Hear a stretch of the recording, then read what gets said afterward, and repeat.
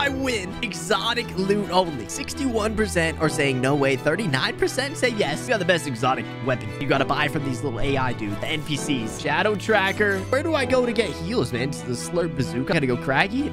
Oh my. Gotta get that Slurp Bazooka or it's gonna be tough to win this. 5,700 gold. Oh, they're not here. Wow, the chug cannon. Get another one just in case. I'm not buying another one. Double barrel? Let's go, babe. Double barrel. The Shadow Tracker and the Chug Splash Pan. I need one, like, long-range weapon. What do I get? Dragon's Breath Exotic Sniper? Say no more. Eight remaining.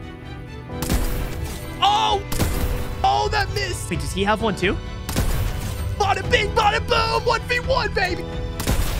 I just shot myself down.